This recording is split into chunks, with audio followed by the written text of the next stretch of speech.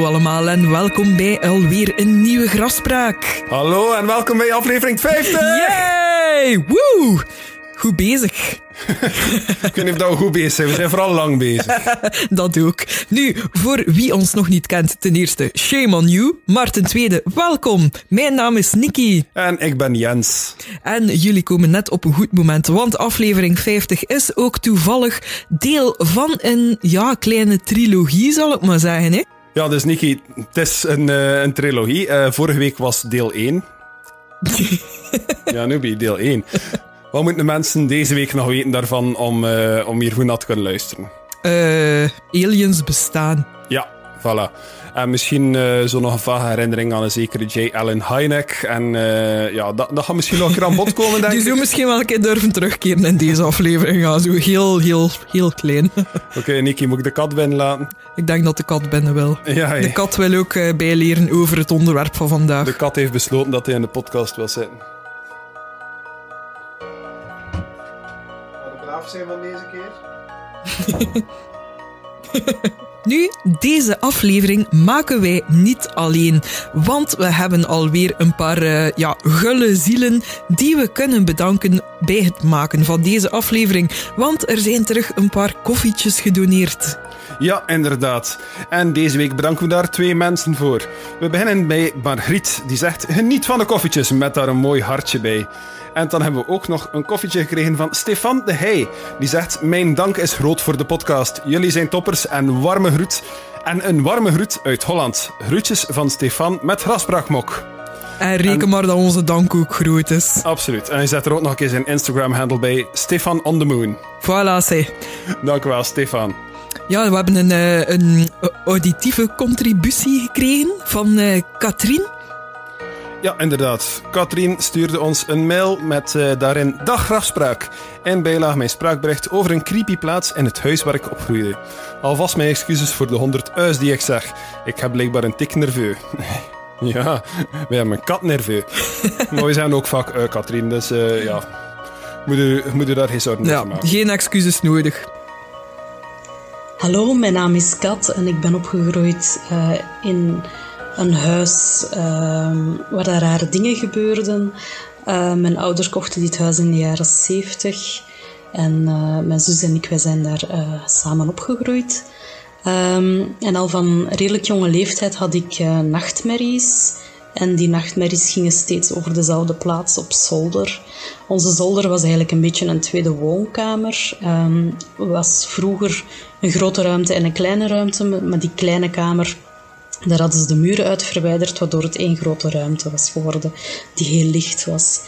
En ehm, het rare ding is dat op de plek waar vroeger het kleine kamertje was geweest, dat daar geen enkele plant groeide. Alle planten gingen daar dood, maar als we ze een paar meter verzetten naar de andere kant, groeiden ze wel. Dat was heel bizar.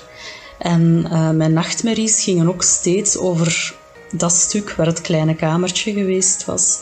Eh, ik droomde telkens dat daar de duivel daar zat, dat daar een of andere demon zat. Het waren echt heel vieze, vieze nachtmerries. En mijn slaapkamer was daar eh, net onder onder dat stuk. En in die nachtmerries begon ik zelfs te zweven tot tegen het plafond en greep dan dat duivelswezen naar mij. Zo, het waren echt heel vieze nachtmerries. Ehm, en op een bepaald moment, toen mijn zus in de puberteit kwam, eh, is die beginnen slaapwandelen. En plotseling stond mijn zus geregeld in haar slaapwandelen s'nachts uh, voor de deur van de zolder, ter hoogte van dat klein kamertje dat er vroeger geweest was. En stond zij daar te huilen en moest mijn moeder haar telkens weer wakker maken en daar weghalen. Dus dat was ook wel behoorlijk vies. Um, ten einde raad hebben op mijn ouders op een bepaald moment zelfs iemand helderziend gevraagd om naar daar te komen. Um, die helderziende zei dat er daar iets heel erg gebeurd was op die plek en dat daardoor daar negatieve energie was blijven hangen. Nu, op een bepaald moment komen mijn ouders uh, de mensen tegen van wie dat zij dat huis gekocht hadden. En die mensen, ehm, dat waren de kinderen eigenlijk van de vroegere eigenaars, die zeiden dat ze nooit graag in dat huis gewoond hadden. Dat dat ook de reden was dat ze dat direct verkocht hebben na het overlijden van hun ouders. En dat was omdat hun ouders niet zo'n aangename mensen waren en ze mishandeld werden thuis. Maar dat vooral... Ehm, hun zus, die uh, zwaar gehandicapt was en die boven op het kleine kamertje op de zolder uh, woonde, dat die eigenlijk altijd het ergste van al uh, te verduren had onder de slagen van de vader en alles. En dat was toch wel allemaal behoorlijk vies toen we dat dan te weten kwamen na alles wat we al meegemaakt hadden in dat huis. Dus ja, tot daar mijn, mijn vies verhaaltje. Oh damn, dat is echt wel heavy. Ja, inderdaad. Uh, een vies verhaaltje kan je het wel noemen, ja. Maar het is echt wel, ja, opvallend hè, hoe dat een huis dus blijkbaar... Allee, ja, dat valt zodanig veel voor. Je kunt dat niet ontkennen dat er toch wel negatieve energieën in een huis moeten blijven hangen op een of andere manier. En dat dat inderdaad ook blijft rondhangen, ook wanneer dat er nieuwe mensen ingetrokken zijn. Ja, we zijn dat toch al in een paar cases tegengekomen. Hè. Dus uh, ik denk dat we al een keer ja gezegd hebben op zo'n dingen. Dus laat ons stellen dat het kan en dat je dat huis mag afbranden. We zijn ondertussen al 50 afleveringen ver. We hebben al zoveel weird shit gezien. Ik stel voor dat we gewoon op alles ja beginnen zeggen nu. Uh, nee, nee, nee. Dat was zeker niet toen, Nicky. we hebben de verantwoordelijkheid. We have to warn the people. Ja, want alleen wij hebben de waarheid. Alleen wij hebben de waarheid. We put that on a shirt. Maar Nicky, je bent er net iets vergeten, denk ik. Hè? Oei. Want we hebben wel de mensen bedankt die ons een koffietje gedoneerd hebben. Maar we starten onze aflevering toch ook graag met onze patrons te bedanken. En we zitten intussen al aan 10 mensen die ons steunen op Patreon. Nu, full disclosure. Meestal komt Editing Jens nog een keer tussen om te zeggen van wow, wow, wow, wat een nieuwe patrons deze week die nog niet aanwezig waren tijdens de opname. Deze week gaan we op reis. Dus we gaan dat niet doen deze keer. We gaan deze aflevering opnemen, afwerken en inplannen. Dus als je er nog niet in zat, terwijl je deze week zit ingeschreven, dan beloven we dat de volgende week wel een shout-out. Maar deze week bedanken we dus Suzanne van Dalen, Koen Zoestash, Leentje Roesbeke, Michael Onkelings, Glenn van der Stukken, Oken Jens, Josephine, Mike Keizer en De Jan. Dank u wel voor jullie bijdrage en ik hoop dat ook jullie allemaal klaar zijn voor de case van deze week. Absoluut ik ben zeker van dat zij klaar zijn. Want ik zal je even iets vertellen over die 10 patrons dat ik net heb opgenoemd. Dat zijn allemaal stuk voor stuk mensen die het nooit gaan voorhebben dat ze dan een lange uitleg zitten te luisteren, vlak na in de middag eten en dat ze eigenlijk tegen de slaap zitten te vechten en dat ze dan een ambetante vraag krijgen van een uitleg dat ze eigenlijk niet naar geluisterd hebben. Dat, dat soort mensen zijn zij zeker niet. Dat kan ik u garanderen. ik had het gevoel dat dat uw werkdag was vandaag. Ik heb wel nog een best interessante uitleg gehad vandaag. Allee, good for you. En nu komt er nog een bij, zeg. Oeh, spannend. Shit, dat hij het ook juist gegeten. Ik kan net gegeten en ik, uh, ik heb vandaag een bijscholing van acht uur gehad. Dus uh, entertain me, Niki. Wel, laat ons beginnen met deel 2 van onze extraterrestrial extravaganza met Project Blue Book. Oeh, nice. Ja, zoals dat ondertussen wel al weet, Project Blue Book is ja, het UFO-onderzoeksprogramma van de Amerikaanse luchtmacht. Hè. Nu ja, ik moet zeggen, um, het is een beetje een raar onderwerp. Het is, uh, heel het project was zo'n beetje shrouded in mystery. En het opzoekingswerk daarvan is ook ja, behoorlijk lastig. Want uh, ja, Project Blue Book bestaat eigenlijk uit allemaal onderzoeksfiles van meldingen. En uh, ja het is gewoon een hele opgave om uh, ja, die, die files gewoon deftig door te nemen en zo. Dus ik heb eigenlijk um, ja, van iemand die het helemaal zelf heeft meegemaakt, zijn boek gelezen en zijn bevindingen van het project doorgenomen. En die persoon waarvan dat ik het boek heb gelezen is, jawel, Joseph Allen Hynek. U misschien nog bekend van vorige week. voilà. Um, zijn boek, de Hynek UFO Report, um, ja, geeft eigenlijk weer hoe dat hij zijn carrière heeft beleefd bij heel het Project Blue Book en zijn bedenkingen bij hoe dat de files eigenlijk uh, zijn vormgegeven. Nu, ik had vorige week al een beetje kort uitleg gegeven over wie dat Hynek juist was. Hè. Um, oprichter van de Center of UFO Studies in Chicago, dat hij in 1973 heeft opgericht. Helaas leeft hij de mens niet meer, want uh, ja, hij is geboren op 1 mei 1910. Dus anders ja, zou die mens superhuman geweest zijn. Hè. Hij is ergens in 89 geloof ik, als ik mij niet vergis, gestorven. Het zou me niet verbazen dat iemand gelijk Heineck dan uh, zo de, de, eerste mens is die 150 jaar wordt of zo. Maar het is hem dus niet gelukt. nee, helaas. Nu, um, ik moet wel zeggen, Heineck zijn fascinatie met uh, de wetenschap is al tamelijk vroeg begonnen. Um, omdat hij als kind ziek werd en uh, zijn moeder, um, Bertha, die las dan regelmatig voor uit een astronomieboek.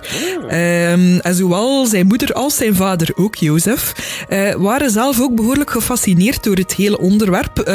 want enkele dagen nadat Joseph geboren was, namen ze hem mee op het dak van hun appartement in Chicago. Want blijkbaar was toen de periode dat hij. Uh, hoe spreekt het uit? Halley's of Halley's Comet eigenlijk? Ik dacht Halley's Comet. Ja, hé. In mijn hoofd is al heel de tijd Halley's, maar ik denk dat ik het gewoon heel de tijd verkeerd... Uh... Maar als het leest, zou ja. inderdaad Halley's zeggen. Hè? Maar ja. ik denk dat veel mensen die fout maken. Maar als ik het juist op heb, is het eigenlijk ja. zou zeggen. Wat, daarover ben ik ook een wistje datje te weten gekomen, want het is blijkbaar om de zoveel decennia passeert hij een komeet een, een keer. Ja. Ik durf nu niet zeker te zeggen wanneer dat hij nog een keer gaat passeren, maar uh, ja. We zoeken het op en we zetten het in de graspraak community. Uh, we, we hebben internet devices bij ons, ik kan dat nu opzoeken. Doe maar rust. Oké. Okay. Wanneer passeert Halley's Comet voor de volgende keer? Ik heb dit op internet gevonden. Waarschijnlijk zal in het jaar 2061 of 2062 weer te zien zijn. De laatste keer was 1986, dus ik was toen nog niet geboren. Allee, we gaan het dan misschien nog net meemaken. Wie weet. Wie weet. Nu, um, ja, naarmate dat hij ouder wordt, uh, blijft natuurlijk zijn fascinatie met de wetenschap. Um, hij studeert natuurlijk astronomie en hij zou heel veel uren doorbrengen bij ja, de lokale observatoria. Um, hij zou aangesteld worden ook als onderzoeker daar en later ook nog een uh, lerarenopdracht krijgen daar. Nu, het gaat hem eigenlijk heel goed voor de wind, want begin jaren 40 zou hij dan een positie aanvaarden bij de John Hopkins University in Baltimore, um, waar dat hij blijkbaar zou meegewerkt hebben aan, het eerste slimme wapen, um, een proximity fuse, dus een naderingsontsteker. Wat dat Google Translate mij heeft getoond. dus wat dat, ja, dus een, een soort raket zou zijn dat als het uh, voorbij een bepaalde afstand komt te, ja, aan zijn doel, ja. komt het tot ontploffing. Hè? Ja. Uh, volgens Google Docs is naderingsontsteker ook geen echt woord. wil ik er even bij vermelden. Ik denk dat proximity fuse zo the close as close as we get. Die internet said it was correct. Ja, ja, als het op internet staat, weten we dat het waar is. Nu, um, ja, dat zou veel deuren voor hem openen, uiteraard. En um, ja, zou hem ook wel veel naambekendheid geven. En hij zou ook gezien worden als een van de eerste rocket scientists. Dus dat is wel heel cool om op je palmarès te hebben, hè? Absoluut. Mensen kunnen het niet zien, maar ik zit te knikken nu. Nu, die expertise ja, zou hem dus natuurlijk ook een plaatsje opleveren bij Project Blue Book. Wat aan ons brengt tot het project zelf. Um, Officieel is dat gestart in 1952, maar zoals dat jij misschien al een keer had opgevangen, um, was Project Blue Book niet de eerste benaming van het project. Nee, inderdaad. Er was nog een ander project daarvoor. Hè. Ja. Um, ik ben de naam even kwijt. Hij gaat me moeten naam niet. Dat is geen probleem, we komen daar straks toe. Okay. Want het is namelijk al uh, ja, sinds 1947 uh, eigenlijk aan de hang. En het zou in totaal ja, iets meer dan 20 jaar lopen. Het zou tot 1969 lopen. Dus uh, spoiler alert, het loopt niet meer. Voor zover we weten. Voor zover we weten. Good point. uh, nu, dus officieel zou het nooit ja, secret geweest zijn, maar uh, het zou wel ongelooflijk moeilijk geweest zijn, blijkbaar om effectief um, ja, het, het project, allee, de files ervan in handen te krijgen. Ja, dat was nog de tijd dat de Amerikaanse overheid zo nog redelijk casual was rond UFO's. Van ja, oké, okay, ja, er zijn er gezien geweest en wij onderzoeken dat.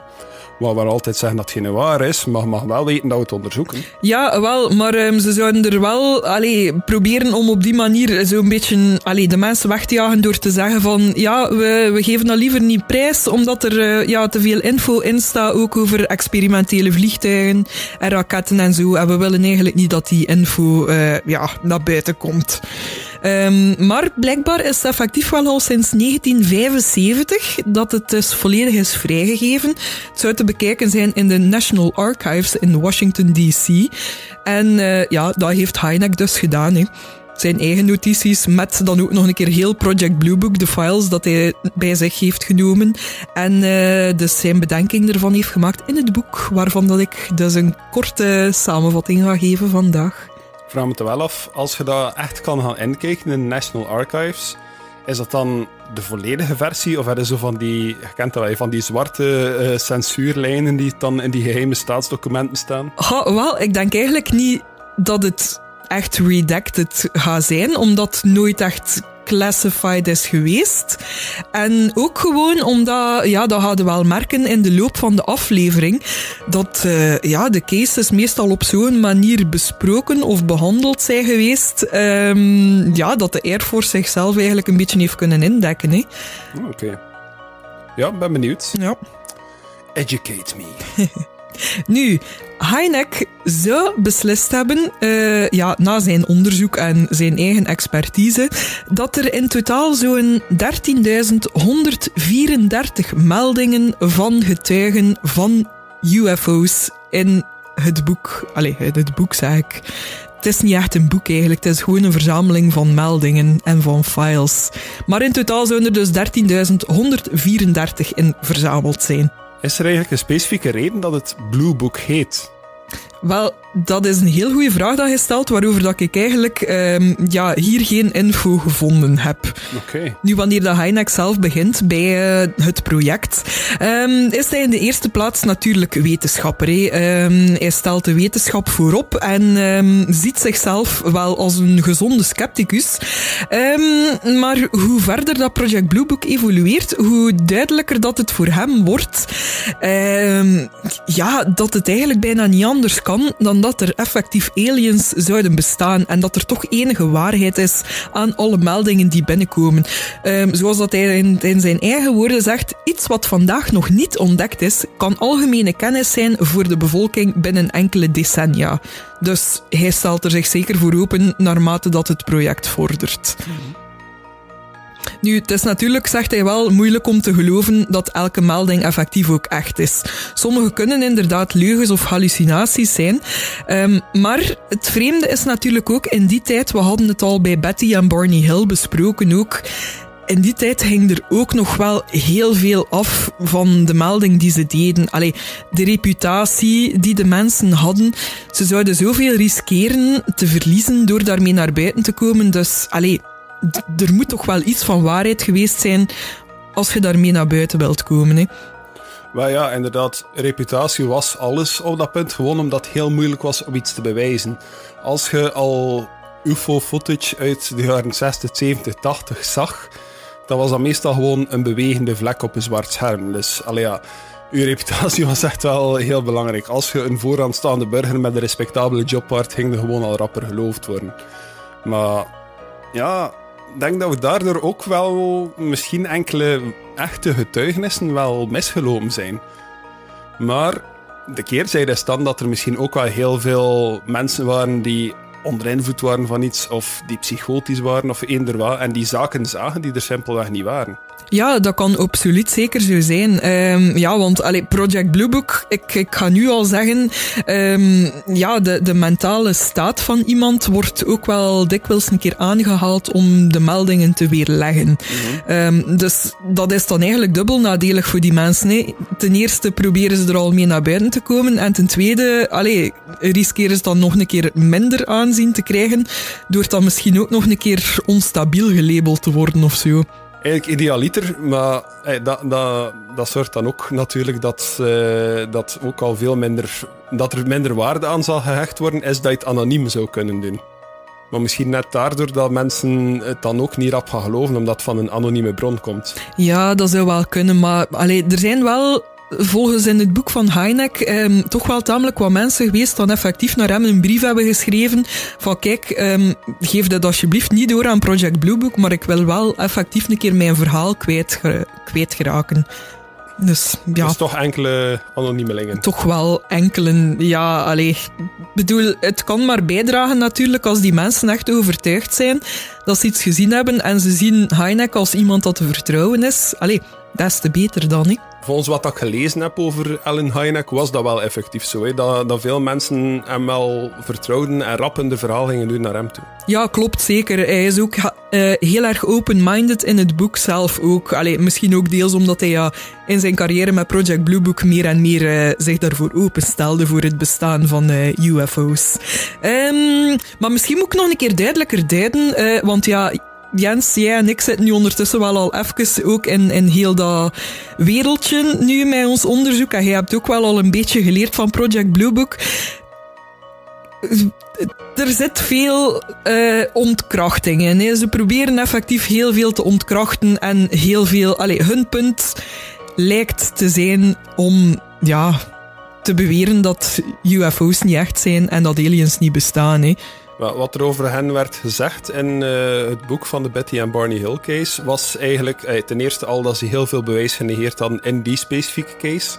Maar dat werd er ook nog een keer aangehaald dat ze eigenlijk in het grootste deel van hun cases uh, een gebrek aan informatie citeren als reden waarom dat het niet kon waar zijn volgens hen. Ja, klopt. En hij werd er zo toch een beetje, niet letterlijk, maar er werd wel heel duidelijk geïnsinueerd in dat boek van... Uh, eigenlijk was Project Blue Book meer een desinformatiecampagne dan iets anders. Zeker, dus ik denk voor de luisteraars thuis nu dat dat wel belangrijk is om al in gedachten te houden, want ik ga uh, zo dadelijk wel een paar cases bespreken die effectief in Project Blue Book stonden en ook onderzocht zijn.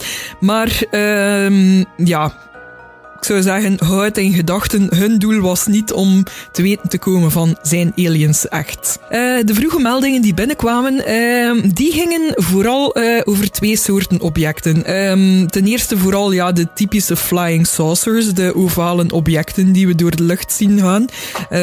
ja, meestal eerder metalliek van kleur, zilveren schijn, een gloed er rond ook. En dan ook ja, de, de, de gewone typische lichtjes die dan s'nachts aan de hemel verschijnen.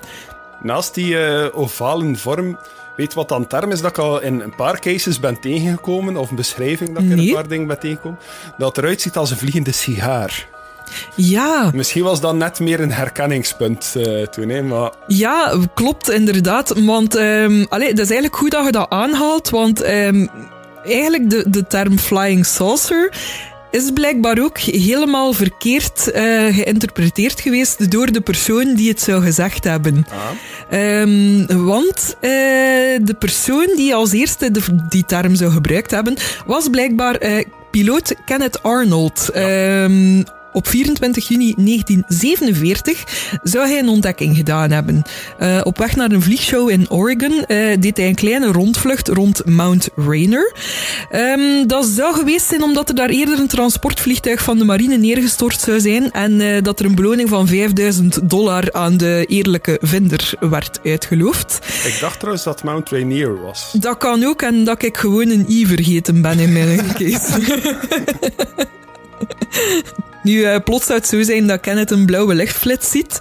En uh, ja, volgens hem kon het zeker al niet van een ander vliegtuig komen, want het enige nabije vliegtuig vloog eigenlijk te ver af om dat te kunnen zijn. Um, kort daarop zouden er nog lichtflitsen komen en uh, die zouden negen keer heel vlug achter elkaar komen. Nu, in interviews zou Kenneth gezegd hebben uh, ja, dat de kranten dus, zoals dat ik zei, zijn getuigenis eigenlijk een beetje overdreven hebben.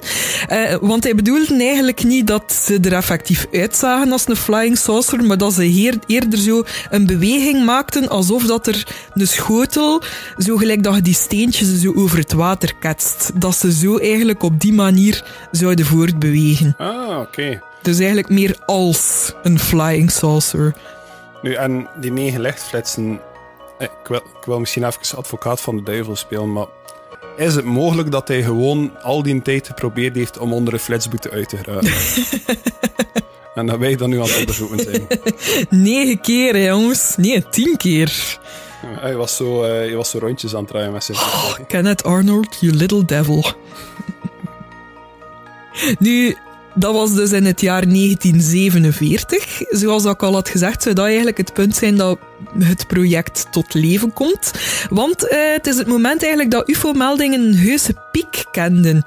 Um, al die meldingen die op dat punt eigenlijk binnenkomen in 1947 en het jaar daarop, die zouden allemaal doorgeschakeld worden naar ATIC. En ATIC is het Air Technical Intelligence Center op de Wright-Patterson Air Force Base in Dayton, Ohio. Uh, dus eigenlijk de meldingsplaats van de Air Force. Nu, uh, ja, in het begin werd er daar eigenlijk weinig aandacht aan besteed. Hè. Um, legde dat eigenlijk een beetje naast zich neer. Maar um, er begonnen ook meer en meer meldingen te komen van mensen binnen hun eigen rangen. En dat was natuurlijk niet zo gemakkelijk te weerleggen. Dus uh, ja, het nadeel was eigenlijk ook een beetje dat er dan weinig harde bewijzen waren. Uh, er werden nog niet of amper foto's genomen. En voor de rest ja, was er ook geen fysiek bewijs van mensen die die aanvaringen hadden gehad. Maar toch, ja, omdat dat van militaire bronnen kwam, wouden ze geen risico nemen en wouden ze toch wel te weten komen, ja, is dat hier misschien eventueel hostile of wat zou het kunnen zijn? Ja, ik sta me ook voor dat zo einde Tweede Wereldoorlog, dat dat nog niet de periode was dat de meeste mensen een draagbare fotocamera bij zich hadden. Hè?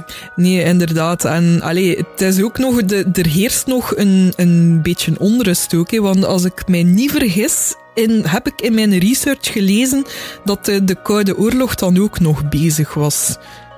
nu, neem mij niet, niet op mijn woord. Ik denk het wel.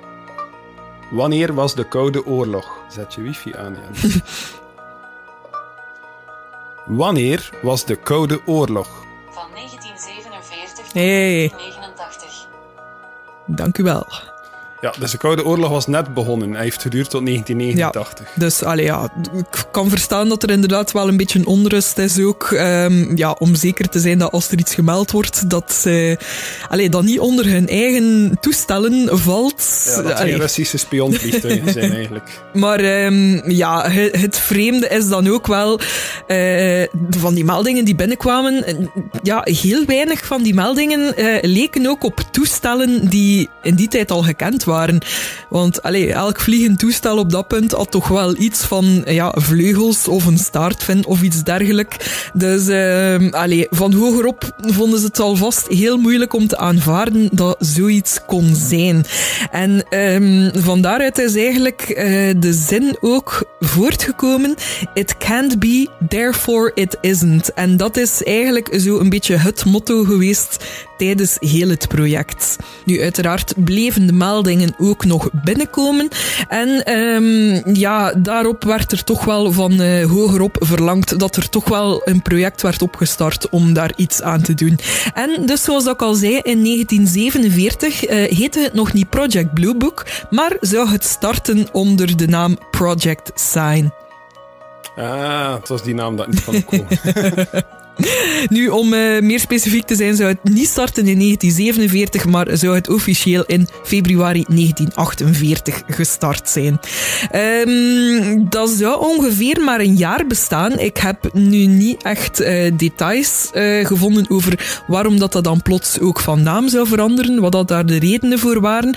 Maar ik weet wel ehm, dat het nadien overgegaan is in Project Grudge en uiteindelijk dan het Project Blue Book, zoals dat we het kennen. Dat is dus hetzelfde project. Die, die, eh, die documenten zijn gewoon verder gegaan van Project Sign naar Project Grudge en naar Project Blue Book. Ja, ik moet wel zeggen, en dat ga ik eh, zo dadelijk ook nog verder bespreken met u. De, er is wel, van het moment dat er een naamsverandering komt, ehm, wordt er ook een verandering in approach gedaan, zal ik maar zeggen. Ehm, ja, het wordt mogelijk nog negatiever dan het al was van in het begin. Misschien vandaar dan de verandering van projectsnaam. hè? Nu, dus eh, kort na de opstart van Project Sign eh, wordt Heineck dus gevraagd als eh, technisch adviseur met als doel en waar mogelijk zoveel mogelijk meldingen af te doen als zijnde meteorieten, planeten of een andere wetenschappelijke verklaring.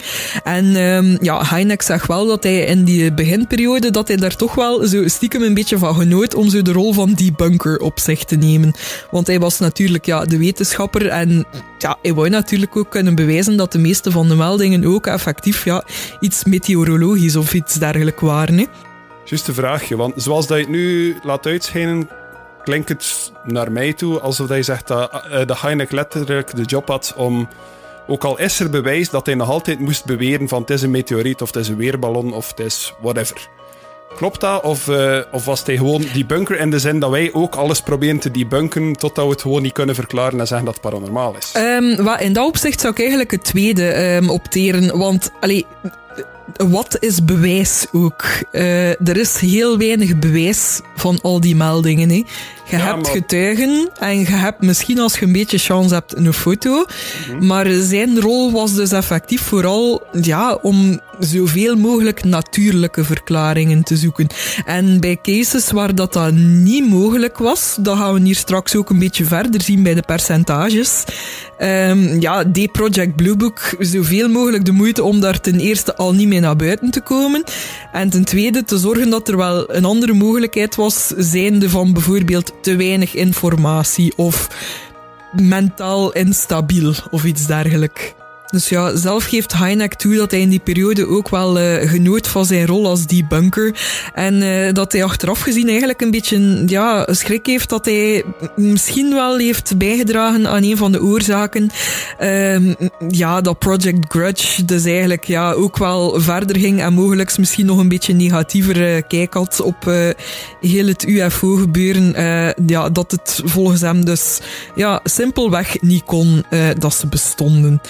Um, nu, ETEC bleef natuurlijk wel meldingen binnenkrijgen, um, maar ja, ze probeerden eigenlijk om er verder weinig aandacht aan te besteden. En het zou bijna lijken alsof dat heel het project, uh, toen nog Project Grudge, dus eigenlijk een stille dood zou sterven, dat ze eigenlijk probeerden om uh, ja, alles een beetje in de doofpot te steken. En uh, dat zou zo enkele jaren blijven duren, tot er in 1952 een reeks meldingen kwamen van UFO's, ja, dat ze absoluut niet naast zich konden neerleggen. Want er werden namelijk ja, UFO's gespot boven Washington DC, boven het Witte Huis. Ah ja, de UFO-golf van Washington DC. Klopt. Ik heb er nog van gehoord. Ja, dat zou een beetje ja, de UFO-sighting geweest zijn die het toch wel weer ja, in het openbaar bracht. Hè. Um, het is zo dat op de late avond van 19 juli 52 uh, op verschillende basissen zelfs um, in totaal zeven meldingen werden gemaakt van ja, onbekende objecten op de radar. Uh, de piloten William Brady en S.C. Pearman, die op dat moment in de buurt vlogen, die werden gecontacteerd en ze beweerden dat ze op dat moment ook een paar vuurballen in de lucht hadden gezien. Um, ze beschreven het blijkbaar als vallende sterren, maar dan zonder staart. Uh, daar zouden er ook effectief jets op ingezet zijn, maar die konden blijkbaar niets vinden.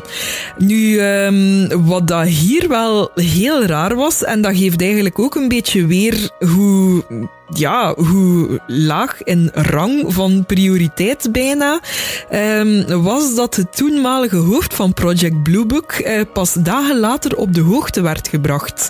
Nu, um, toen het hoofd van Project Bluebook was uh, de Wereldoorlog 2 veteraan en luchtmachtofficier Edward J. Ruppelt. Rappelt. Ja, en allee, ik kan mij voorstellen, die mens ging dus ja, op zakenreis naar Washington. En in één keer koopte die hem daar een krant en ziet hij plots dat er UFO's boven het Witte Huis gespot zijn. Wacht, en hij is het hoofd van Project Blue Book op dat Ja, punt. klopt. En wat voor zakenreizen maakt, maakt een luchtmachtofficier?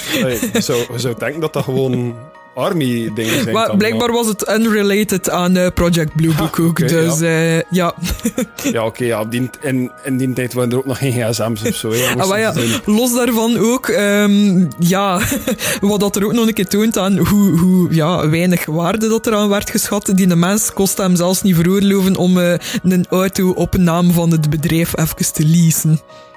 Oké, okay, ja. Niet dat ik dat ooit heb kunnen doen hoor. Ik zit de mensen hier uit te lachen van haha, ik kan geen auto leasen. Nee, maar allee, het, het, blijft gewoon zo grappig van hoe meer dat ik daarover opzocht, hoe meer dat ik zoiets had van allee, kom aan, Project Bluebook. In mijn ogen was dat zo het project. En allee, hoe meer dat daarover leest, hoe meer dat dat zo een teleurstelling lijkt te zijn. Ja, wel.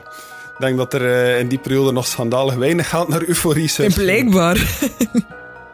Nu, um, het ergste van al is dan ook nog een keer dat in het weekend daarop exact hetzelfde zou gebeuren. Uh, want opnieuw worden er UFO's gespot boven het Witte Huis. En opnieuw worden er jets ingezet. Uh, en ze zouden effectief felle lichten opgemerkt hebben die aan hoge snelheid uh, wegvlogen. Um, piloot William Patterson die zou verklaard hebben dat hij aan maximumsnelheid achter die objecten zou aangevlogen zijn, maar ja, dat hij geen enkele manier zag om ze in te halen. Dat ze gewoon te snel waren. Enig idee wat dat die maximumsnelheid was toen? Uh, goh, ik moet zeggen, ik heb dat opgezocht, maar uh, ik dacht dat dat iets in de 1000 kilometer per uur was. Mooi, ja. Ja, ja, blijkbaar zou zelfs president Truman, onze uh, timmerman, timmerman. Uh, ja, natuurlijk ook bezorgd zijn over wat er boven zijn dak gebeurde. Hè. Die zou zijn rechterhand bij de luchtmacht, Brigadier General Robert B. Landry, contact laten opnemen met Ruppelt, dus het hoofd van Project Blue Book. Um, en ja, op zijn beurt zou die gezegd hebben, waarschijnlijk een beetje om ja, de zaken te sussen ook, dat het niets meer was dan een uh, ja, een, een weersfenomeen, zijnde een soort van luchtweerspiegeling, gecombineerd met temperatuurwisselingen, wat dat er dus voor zou gezorgd hebben ja, dat er rare dingen op de radar te zien waren. Wat dat blijkbaar wel effectief mogelijk is. Als er uh, ja, een temperatuurinversie is, um, ja, dat ja, de luchtlagen een beetje zot doen. Ja, meneer Timmerman, die een probe, dat was toch een luchtlaag, hoor. Ik weet dat de week niet meer kan zitten, nu, maar... Nu, in elk geval is dat wel... Heel dit daar niet zo moeilijk over. Sorry. Nu, in elk geval um, is dat wel voldoende om een uh, bijeenkomst te houden in het Pentagon. En dat zou zelfs de grootste zijn sinds Wereldoorlog 2. Um, ehm, dus ja, wanneer dat de president erbij involved geraakt, is het in één keer wel een big deal natuurlijk.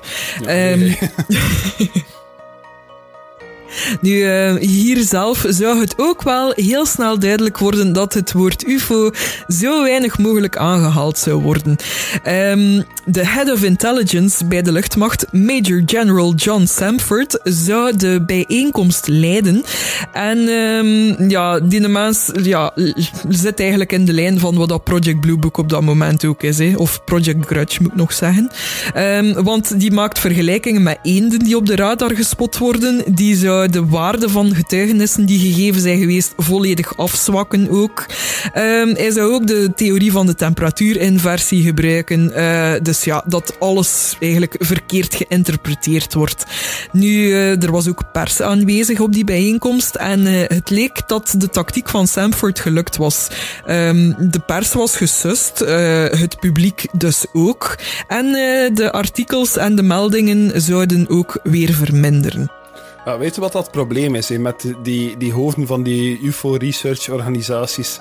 Ken je dat zo als je op de meeste jobs aan de hogerop bij je directie iets moet gaan aanvragen voor iets dat eigenlijk je job gemakkelijker uitvoerbaarder zou maken en geld zou besparen? Zo heb je een fantastisch idee. En je wilt dat dan aanbrengen en dan knikken ze eigenlijk al van nee voordat je eerste zin uit hebt. En wordt er niet naar u geluisterd. En komen ze dan twee maanden later met een veel minder goed en veel duurder idee af. Dat zijn allemaal dat soort gasten die aan de top van Project Grudge stonden op dat punt. Hè. Exact. Nu, ja, kijk, uh, de meldingen verminderen wel, maar uh, ja, het was toch effectief iets dat niet naast zich kon neergelegd worden. Er zou ook nog een behoorlijke UFO-piek geweest zijn in dat jaar, dus het zou wel voldoende zijn om het project toch nog in stand te houden. En het wordt omgedoopt naar Project Blue Book. En hierbij wordt dan ook Heineck teruggevraagd. Nu, ik heb hier even ook uh, voor jou, Jens, uh, een lijstje opgesteld. Um, waarop dat eigenlijk het verloop te zien is van mensen die allemaal aan het hoofd hebben gestaan van Project Blue Book. Um, eigenlijk om ja, aan te tonen wat voor een chaos dat dat eigenlijk ook was. Ja, precies. De meeste hebben niet lang volgehouden. Nee, inderdaad. Nu, Ruppelt, gelijk dat je ziet, is wel uh, een keer teruggekeerd ook. Um, maar wat dat ook wel belangrijk is om hierop aan te tonen, is is uh, dat de leiders ook niet noodzakelijk heel hoog in rang zijn. Dus uh, zoals dat ik al zei, hey, Ruppelt kon bijvoorbeeld zelfs nog geen auto aanvragen voor zijn zakenreizen. Dus allee, er werd ja, blijkbaar toch wel heel weinig prioriteit gegeven of toch heel weinig middelen gegeven ook. Ja, ik ben ook niet echt thuis in militaire rangen, maar ik zie dat zo kapitein, eerst luitenant, major, zie ik wel allemaal staan. Uh, luiter, uh, later luitenant, luitenant-kolonel. Ja, Weet hij daar de hiërarchie van? Nee, ik, uh, ik vertrouw enkel op Heineck zijn beschrijving in het boek dat die rangen niet per se echt heel hoog waren. Oké, okay, ja. ik zal ervan uitgaan dat hij gelijk heeft, want ik heb nooit in het leger gezeten, zoals dat wel kunt zien aan mijn well-toned body. Nu, we zitten dus effectief in Project Blue Book en Heineck begon stilaan wel meer en meer interesse te krijgen voor die UFO-kant. Ja, mag wel een keer interesse. nu, um, vooral ook omdat hij begon te merken, ja, hij kreeg natuurlijk meer cases voorgeschoteld. Uh, get it, schotel. Maar... Um, Ik vind het wel grappig dat ze zegt van hij begint stilaan meer interesse te krijgen in heel het UFO gebeuren. Zo. Jens heeft na drie jaar zo toch eindelijk een beetje interesse ontwikkeld om verpleegkundige te zijn.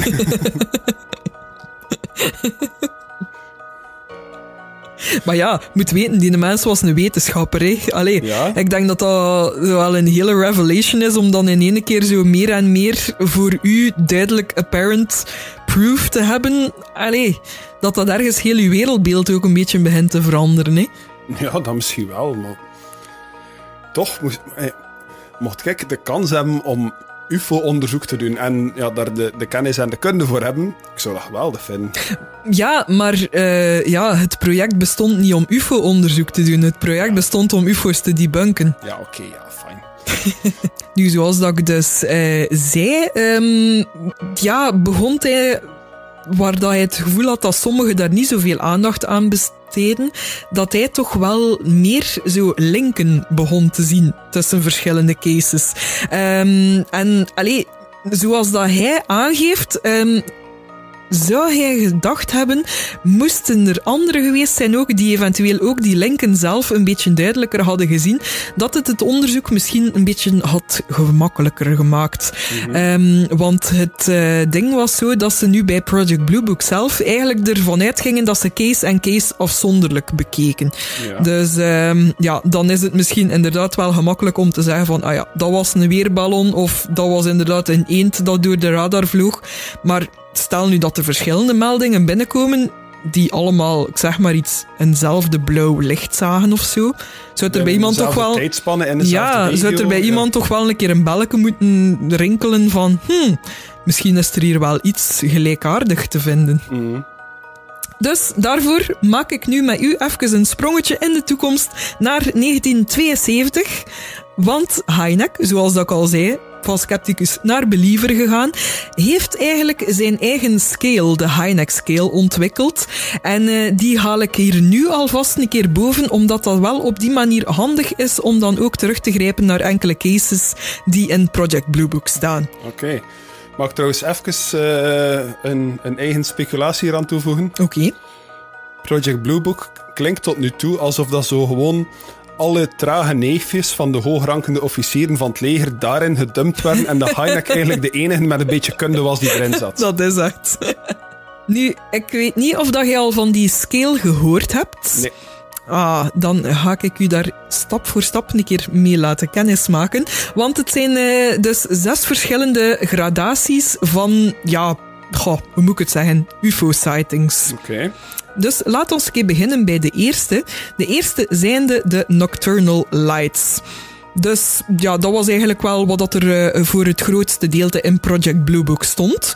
Um, die, ja, dat waren lichten, dus die konden rood, blauw, oranje of wit zijn. En die bewogen op een manier die anders is dan ja, toen gekende toestellen. Ja, eigenlijk zoals dat de Betty en Barney Hill case begon, hè? Ja. Het bewegende lichtje aan de hemel. Ja, inderdaad. Dan eh, als tweede hebben we de daylight discs. Dus ja, de flying saucers, de metalen objecten. Die dan meestal ja, het best zichtbaar zijn natuurlijk doorheen de dag. Um, en die dan ook vaak aan een enorm hoge snelheid wegvliegen van de getuige die ze zag. Oké, okay, sure. Dan hebben we als derde de radar visual cases. Ook wel bekend als de eend. In sommige gevallen heeft de radar sighting op zich dan ook nog een keer een aparte klassificatie. Ehm, maar ik heb ze hier nu samengevoegd omdat in zijn boek onder één ding valt. Ehm, dus wanneer dan radar sightings en visuele sightings wel degelijk samenvallen. Nu het volgende. Dat gaat u misschien wel bekend in de oren klinken, want de volgende drie zijn eigenlijk heel gelijkend op elkaar zijn namelijk de close encounters. Ah, the first, the second en the third kind. Klopt. Vandaar dat dat komt. Oké, dat wist ik dus niet. Ik, Ja. ik, ik ken close encounters of the third kind als... eh, eh, van, van wie was dat? Eh, George Lucas film zeker? Of Steven Spielberg? Ik denk Steven Spielberg, Ja, maar ik durf het niet zeker zijn. zeggen, want ik denk niet dat ik hem ooit al gezien heb. Nee? Nee. Oké, dan weten we wat te doen vanavond. Nu, laat mij even verduidelijken. Close Encounters of the First Kind is dus wanneer een UFO van dichtbij te zien is, maar niet in interactie treedt met zijn omgeving of de getuigen. Nu, ik moet zeggen, ik heb verschillende bronnen gecheckt over wat dat er juist gezien wordt als van dichtbij zien. Ehm, omdat ik, ja, ik vond gelijk geen eenduidige ja, overeenkomst tussen wat dat die afstand juist is. Sommigen spraken over iets van een in de 180 meter, sommigen spraken over ja, iets dichtbij. Eh, 60 meter. Dus allee, laat ons gewoon aannemen van dichtbij genoeg om te kunnen uitmaken hoe dat eruit ziet. ja, ja, zo zou ik het ook opvatten. Dat er absoluut geen twijfel is dat het, eh, dat het misschien toch een straalvliegtuig of zo kan geweest zijn. Nee, inderdaad. Dan eh, Close Encounters of the Second Kind is wanneer dat er eh, ja, een UFO dus wel degelijk van dichtbij te zien is, maar dat er ook een interactie is met de omgeving. Zijnde als dat er bijvoorbeeld sporen achtergelaten worden, iets van tastbaar bewijs. Oké, ja, makes sense. En ja, dan natuurlijk ja, Close Encounters of the Third Kind. Dan is dat wanneer dat er wel degelijk iets van levend organisme in of buiten de UFO gezien wordt. Ja, dus eh, Betty en Barney Hill was heel hard een eh, klasse 6 eigenlijk. Zijn maar zeker. Nu zo dadelijk. zelfs een close encounter of the fourth kind was zij zijn de UFO binnengegaan. en we hebben gezegd dat het waar was. Oh ja. Dus ja, zoals ik al gezegd heb, zo dadelijk gaan we een paar van de cases belichten die vallen onder zijn scale. Nu natuurlijk komen er van alle zes de soorten wel meldingen binnen, maar zoals ik zei, is het eigenlijk vooral van 1 en 2, dus van de nocturnal lights en de daylight discs, dat er heel veel meldingen binnenkomen. Ehm, en ja, eh, vooral van de close encounters of the second and the third kind, ehm, ja, zou er toch wel geneigd worden om het af te doen als ja, verkeerde interpretaties of ja, terug weer die mentale instabiliteit. Hè. Ook bij de andere cases zou het zo zijn, zoals dat ik zei, dus dat het allemaal puur afzonderlijk afgehandeld wordt. En dan eh, begint het eigenlijk eh, ja, de logische verklaring te krijgen van possible balloon, possible aircraft, possibly astronomical, maar nooit possible UFO. Nu, eh, ja, soms was ook de minste verwijzing in een getuigenis genoeg om het ook effectief op de possible manier te klasseren. Ehm, want iemand vermeldt bijvoorbeeld het woord vogel en dan komt er daaruit dus de verklaring, het zal dus waarschijnlijk wel een vogel geweest zijn. Want er was bijvoorbeeld de melding van een vreemd object dat gezien werd op 29 juli 1952 in Los Alamos, New Mexico. Ehm, maar liefst meer dan vijf afzonderlijke getuigenissen zouden verzameld worden. Maar één persoon sprak toen over het feit dat terwijl dat er een wit object te zien was, dat in een rechte lijn vloog, ehm, dat hij ook papieren in het rond zag vliegen. Dus ja, het gevolg daarvan, je kunt waarschijnlijk wel al raden. Probably paper. Probably paper. Nu, het jammere aan het feit dat er zoveel ongeloof lijkt te zijn en dat er zoveel ook ehm, ja, verkeerdelijk wordt afgedaan als van het zal wel een hallucinatie geweest zijn of zo, ehm, is dat ook eh, veel van de lokale bureaus zouden ontmoedigd worden om eh, de meldingen nog verder door te geven aan ATIC. Ehm, want ze zouden, ja... ehm, ze zouden soms van ethic zelf dan bij de bureaus ja, hen het gevoel doen geven van de melding die zij overmaken aan hen, dat die er eigenlijk niet toe deed. Of dat het eigenlijk ja, niet echt hun jurisdictie was, ehm, dat ze zelf eigenlijk maar de zaak moesten oplossen of kijken of dat het wel de moeite waard was om het door te spelen. Ehm, dus ja, in die zin hadden die bureaus dan ook iets van, ja ze zijn ons hier eigenlijk al een beetje aan het afdanken. En ehm, ja, misschien moeten we dan gewoon maar het naast ons neerleggen. Het waren hallucinaties en we gaan dat niet doorgeven aan ethic. Maar ja, tot nu toe klinkt het ook eigenlijk meer en meer als dat, eh, dat er bij de overheid misschien wel ergens geweten was van oké, er worden veel ufo's gezien en al, maar dat is ook niet echt voor een nationale of internationale paniek willen gaan daar rond. En dat ze net daardoor eigenlijk Ethic en Bluebook zo onkundig mogelijk gemaakt hebben. Hè? Het is wel zo dat, dat um, Project Bluebook naar zijn relatie toe met de pers inderdaad wel ze probeerden zo een beetje de schijn op te houden, denk ik, van wel approachable te zijn en open te zijn naar de pers toe. Maar ze lieten ook alleen maar los wat ze effectief wouden. Um, ik had dus zo een beetje het gevoel dat ze, ja, zo vooral zo de unidentified cases, of die dat ze echt niet konden uitleggen, dat ze die een beetje naar de achtergrond schoven en dat ze echt zo een beetje de pers aan het voederen waren met de cases die ze wel hadden kunnen weerleggen als zijnde een weer ballon en zo. En van, kijk, we zijn hier effectief wel moeite aan het doen om uh, ja, te zorgen dat jullie geholpen worden en effectief wel verklaringen te geven. Uh, ja, terwijl ze dus eigenlijk gewoon aan het debunken waren. Dus alleen, ja, ik weet niet. Ik weet niet of dat er zal misschien wel een higher power geweest zijn. Hè.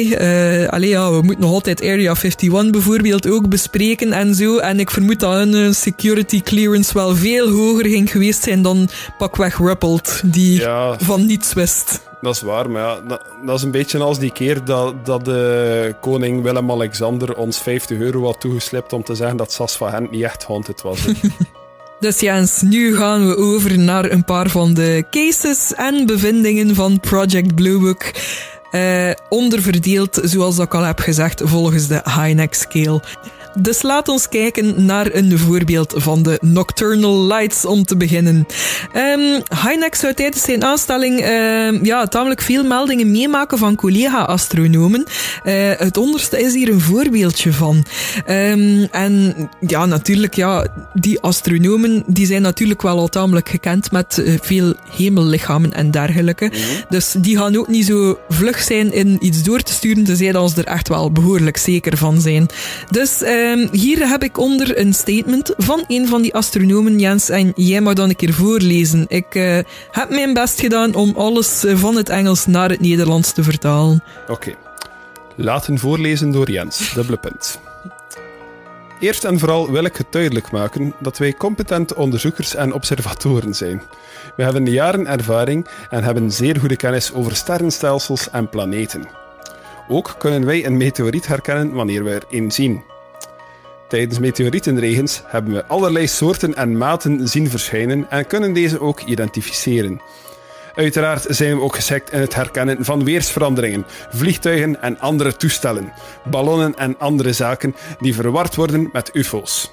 Op de avond van onze getuigenis werden we gevraagd door Redacted om naar buiten te komen en een object te identificeren dat die gezien had. We renden naar buiten met onze verrekijkers. Wat we zagen was een object. Net iets meer rood dan Mars. Het was grote cirkels aan het maken in de lucht. Plots zou het dan tot een halt komen en blijven zweven. Op het eerste zicht zag het eruit als een planeet, maar door de verrekijker was er te zien dat er iets verbonden was aan het object. De beste manier dat ik het kan beschrijven was dat het leek op zo'n vuurwerkstokje dat in en uit het object leek te gaan. De oranje-rode gloed zou verdwijnen, maar het object zou blijven voortbewegen aan onwerkelijke snelheden. Gelieve rekening te houden met het feit dat dit gezien werd door zeven personen. Dus naakjes drie met verrekijkers. en dit voor een langere tijd. Uiteindelijk zou het object verdwijnen en niet meer terugkeren. Er was geen geluid te horen. Ook was er die avond geen vliegtuig in die streek, wat best vreemd is aangezien het zo'n heldere nacht was. Ik voelde dat ik dit voorval moest melden. Geen enkele van de gewone Air Force verklaringen kon dit verklaren. Niemand van ons heeft het object sindsdien nog gezien. We zouden het ten zeerste appreciëren indien hiervoor eender welke verklaring gegeven zou kunnen worden. Dank u wel, Jens. Nu, voor deze melding heb ik helaas geen jaartal. Dat stond niet meegegeven. Uh, maar hier zou Project Bluebook zelfs niet beginnen om een van hun meest plausibele verklaringen te geven. Uh, en deze zou dus effectief wel in uh, de files belanden als unidentified. Dus unidentified is goed eigenlijk. Unidentified, ja, ze, ze gaan er nooit de term specifiek... Allee, Nee, maar ze nee. gaan het wel unidentified noemen, maar ze gaan nooit ehm, ja, op een of andere manier verder denken van hmm, unidentified. Zou dat misschien kunnen zeggen dat het iets buiten onze werkelijkheid zou kunnen zijn? Nee, meestal is dan unidentified in de vorm van we hebben te weinig info of ja, er ontbreekt te weinig om deftig onderzoek te kunnen doen. Allee, dan wil het gewoon zeggen van kijk, we leggen het naast ons neer. Of om het dus heel kort samen te vatten, unidentified wil gewoon zeggen dat ze het niet hebben kunnen debunken. Voilà. Ja. De Daylight Discs is dan eh, de volgende categorie. Daarvan heb ik twee cases. De eerste komt van augustus 1952. Om 2 uur 30 in de namiddag zien twee getuigen nabij Skylight Mountain in Arkansas een schijf, schijfvormig... Schijfvormig object. De skylight en de schijf. Om 2 uur 30 in de namiddag zien twee getuigen nabij Skylight Mountain, Arkansas, een schijfvormig object. Nu, ze waren overtuigd dat wat ze zagen ook effectief echt was en probeerden het ook vast te leggen met de camera. Maar ja, Jens, natuurlijk weten, als je een UFO ziet en hebt je camera bij. Ja, dan gaat het mis. Hè. Ja, ja, ja, de foto was te slecht van kwaliteit om er iets uit te kunnen opmaken. Er was nog net iemand zo voorgesprongen in een fotoboom. De Man in Black. Zo'n pak wc-papier dat Nu, volgens een... achterna gezien door Haagschaar. Sorry, ik moest nog wat callbacks maken in de vijftigste aflevering. Nu, volgens een getuige... Sorry. Nu, volgens een getuigenis had het object geen uitsteeksels of uitsla uitslaten. Dat geen een uitslag. Nu, volgens een getuigenis had het object geen soorten van uitsteeksels of uitlaten of iets dergelijks. En was het, ehm, ja, qua diameter was het vier keer zo groot als de hoogte ervan. Ehm, en ja, terug alsof dat er twee zilverachtige borden op elkaar geplakt waren. Ehm, het zou verschillende keren in en uit een wolkenformatie verschijnen en terug verdwijnen ook. Ah, now you see me, now you don't. Now you see me, now you don't. Probeer hier maar een foto van te nemen. Bitch. Ehm, het zou blijkbaar ook op een ongelooflijke snelheid voortbewogen hebben. Ehm, ja, in vijf seconden tijd zou het blijkbaar een afstand van vijf mijl afgelegd hebben, wat ja, iets van een acht kilometer is of zo. De hoofdgetuige ehm, ja, was weer ook iemand dat ze niet zomaar niet konden geloven. Want dat was namelijk een marineofficier en een oorlogsveteraan met maar liefst zes jaar ervaring. Hij zou tijdens de Tweede Wereldoorlog verschillende militaire missies gedaan hebben, waardoor dat hij ook ja, eigenlijk heel erg bekend was met alle soorten vliegtuigen. Ehm, in zijn woorden zegt hij: I have been in the Navy since 1946 and I have observed many observed. Ik I heb have al veel vliegtuigen geabsorbeerd. Ram. nom nom nom. Dus eh, wat heeft de officier Pac-Man nog te zeggen? Pac-Man Kirby. I have observed many planes and weather balloons and have never seen anything that looked like this object. Nu, helaas ehm, zou het blijkbaar wel enkele jaren geduurd hebben voordat ze met die getuigenis naar Project Blue Book gingen. Ehm, maar desondanks was die hoofdgetuige dus nog altijd actief bezig binnen de marine en zouden ze dus eigenlijk perfect met hem contact kunnen opnemen hebben om zijn getuigenis nog een keer verder te onderzoeken. Ehm, en allee, plus ook het feit dat hij toch wel ja, competent en geloofwaardig was, ehm, werd er helaas toch verder geen follow-up onderzoek gedaan. En werd dat dus eigenlijk ook ja, niet per se unidentified gedaan, maar eh, werd het eigenlijk ja, naast hun neergelegd zonder verder veel aandacht er nog aan besteden. Dan gaan we naar Georgetown, Alabama op 7 januari 1966. Een 18-jarige student meldt dan een object dat zo'n 3 à 4 meter in omtrek was en zilver van kleur met een ring die uitsteekt rondom het midden van het toestel. Ehm, Onderaan zou er een luik te zien geweest zijn van ongeveer anderhalve meter in omvang. En op het moment dat de getuige het object ziet, zou ook zijn polshorloge stoppen met werken. Nu, wanneer het nog op slechts zo'n 6 meter van hem was, zou het dan terug stijgen om nadien aan een enorm hoge snelheid terug te verdwijnen. Nu, volgens de persoon die die jongeman ook geïnterviewd heeft, zag die er ja, toch wel betrouwbaar uit. Nu, ja, voor Project Blue Book was dat natuurlijk ook weer een zeer lastige case. Hè, want allee, uiteindelijk, dat object vloog op slechts een paar meter van die jongen voorbij. Dat is, dat is iets dat je moeilijk als een weerballon of zo kunt afdoen dan natuurlijk. Hè. Um, ja, nu psychologisch was dan een volgende logische stap voor hen om ja, daar de stempel op te kleven.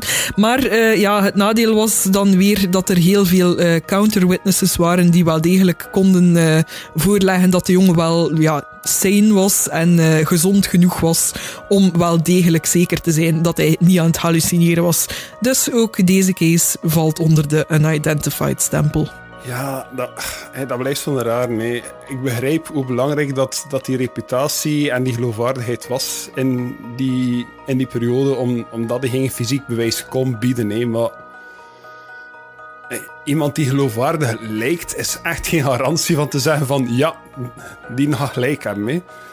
Hetzelfde iemand die al leugens heeft verteld in het verleden, kan nog altijd een UFO zien. Hè? Die kan nog altijd met een echte melding afkomen. Ja, wel, dat is wel waar. En het is daarom dat ik ook vind dat misschien de cases die als unidentified of als psychologisch um, geclasseerd zijn, dat die misschien ja, de, de moeilijkste te weerleggen zijn. Want ja, hoe, kende ook een persoon? Hè? Allee, jij zelf binnen uw line of work weet natuurlijk ook al wel hoe dat uh, de human mind soms een beetje uh, distorted kan zijn. En allee, ja, ik denk dat dat een heel moeilijke is om echt de geloofwaardigheid van mensen uh, zeker te kunnen zijn. Ja, dat is waar. Nu, dan komen we aan de radar visual cases. En uh, Heineck geeft wel toe dat deze wel effectief ja, door het weer en zo uh, de minst betrouwbare zouden zijn. Um, maar desondanks is toch ook wel een uh, behoorlijk grote groep aan meldingen. Van de volgende case zou er maar liefst 24 meldingen in totaal gekomen zijn over een periode van 15 maanden. Dat zou gelopen hebben van januari 1951 tot april 1952. En dat zou in en rond de toenmalige Koreaanse oorlogszone geweest zijn. Nu, zowat alle vormen van radarmeldingen zouden binnengekomen zijn, zegt Heineck. Uh, er was de standaardmelding van een object dat op de radar gespot werd, maar ook op verschillende radars, met dan ook nog een keer daarbij een visuele bevestiging.